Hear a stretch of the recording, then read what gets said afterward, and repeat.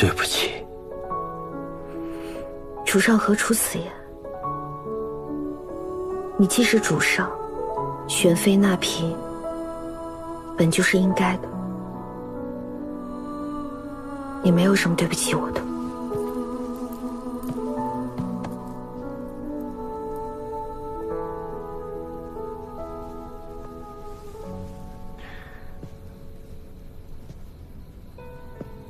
朕身体孱弱，这人生如浮游一般，转瞬即逝。朕将大辽所有的重担，全都压在了你一个人身上，反倒自己想过寻常人的生活。朕跟玉箫在一起，感觉自己不像一个帝王。只需要看看山，看看水，便也轻松了很多。你爱上他了？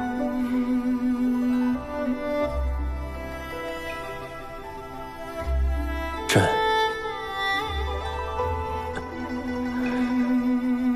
朕需要他。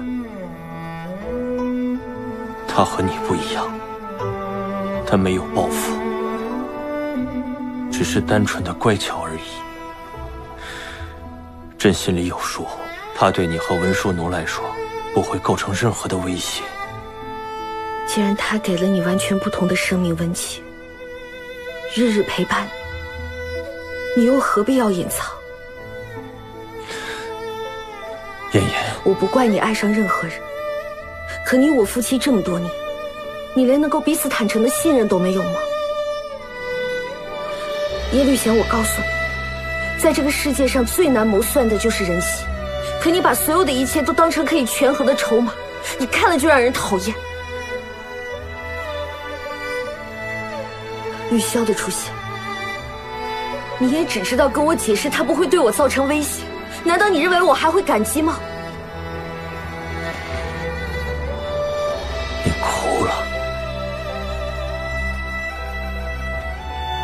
如果在皇帝和皇后之前多了一个妃子，可以让皇帝高兴，这根本就没有什么。我和孩子没有你想的那么脆弱。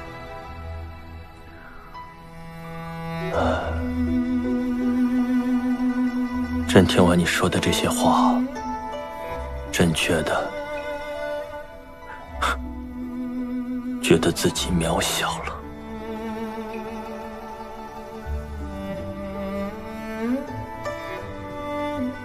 玉箫的事情，我不怪。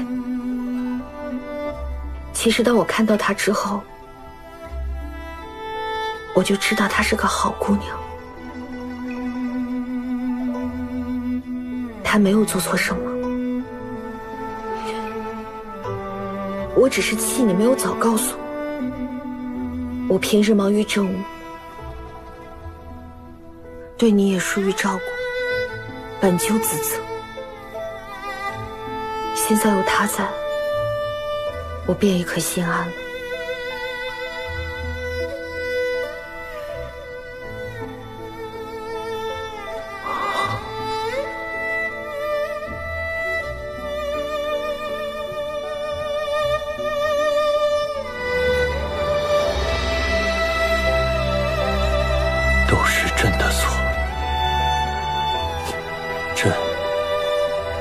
要谢谢你的宽容。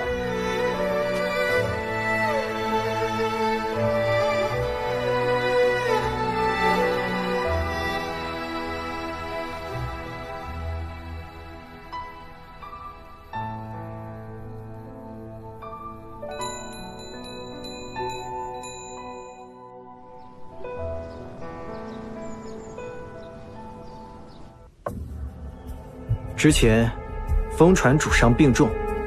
连寒匡寺都束手无策。此事，你打听的如何了？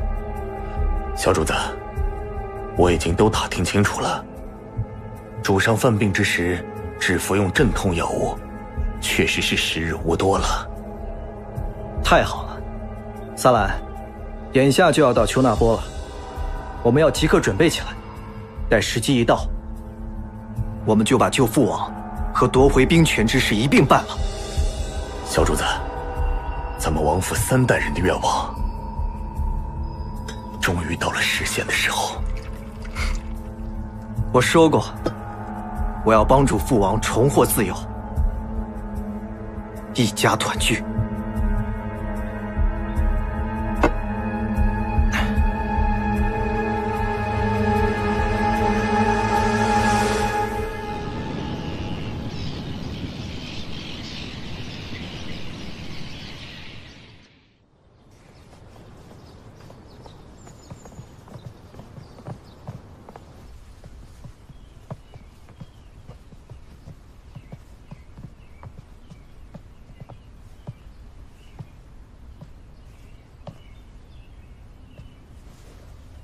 明爷，你快看看，这是玉箫给你生的小皇子。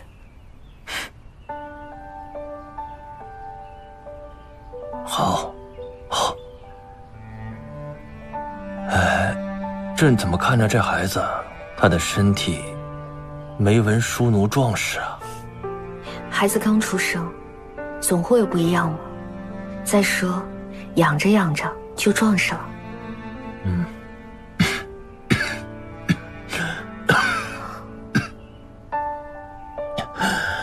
真是担心啊，担心因为朕的身体连累了孩子。别胡说，我一定会把他养得壮壮的，不用担心。对了，给他起个名字吧。要不就叫他药师奴吧，让他记在药师琉璃光如来菩萨的名下。希望对他一生能有好处，至少可以保他一生康健，无病无灾。小药师奴，你听见了吗？嗯，行了，朕这边药味太大，别熏着孩子。呃，抱去他娘亲那边。